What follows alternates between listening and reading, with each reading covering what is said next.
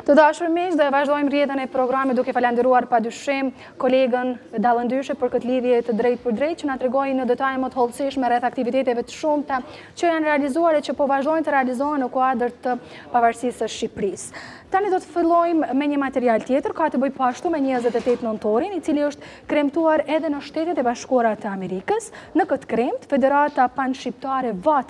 Nderoi me medaljen e artë të dërguarin e posaçëm të Presidentit Xhorxh Bush për statusin e Kosovës, Frank Wisner.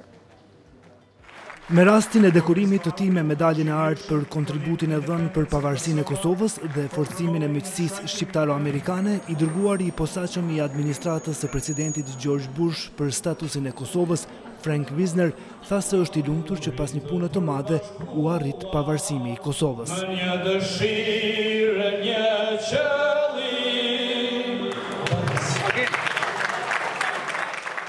Jam i nderuar që jam i ftuar në këtë manifestim të Federatës Panshqiptare Vatra, e cila kontribuoi në çështjen e Kosovës dhe marrëdhënieve të mira që Kosova ka sot me SHBA-në. Më vjen mirë që më konsideroni mik të shqiptarëve dhe Shqipërisë dhe më keni ftuar në këtë manifestim të veçantë. Faleminderit. Isha i privilegjuar, kur u emërova nga administrata e Presidentit Bush, të provoja të arrija pavarësinë e Kosovës.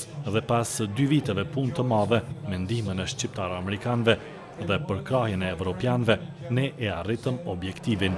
A privilege to have been named during the Bush administration by Secretary Rice. Përveç Wisner, Federata Panshqiptare Vatra nderoi edhe veprimtarin Ekrem Bardha, ish-kryeministrin e Kosovës Avdullah Hoti, biznesmenin nga Shqipëria Irfan Hysenbelliu si dhe disa veprimtarë të komunitetit si Agim Aliçkaj, Rasim Sinas, Anton Raja, Adem Belliun, Dritan Haxhia, korrespodentin e Radiotelevizionit njëzet e një, Halil Mula, dhe aktivistë të tjerë. Mikës Vatra në vitin nëntëdhjetor e Pavarësisë Kombëtare nderon me mirënjohje zotin Halil Mula.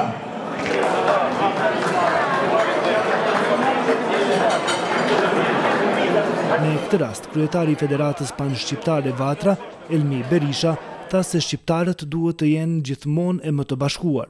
Sot Shqipëria feston njëqind e dhjetë vjetorin e mëvetësisë. Kosova është shtet i pavarur dhe sovran. Shqiptarët e trojeve etnike në Maqedoninë e Veriut janë element shtetformues dhe garancë e ekzistencës së saj. Shqiptarët e Luginës dhe ata në trojet etnike në Mal të Zi janë në pozitë më të favorshme. në realizimin e aspiratave kombëtare.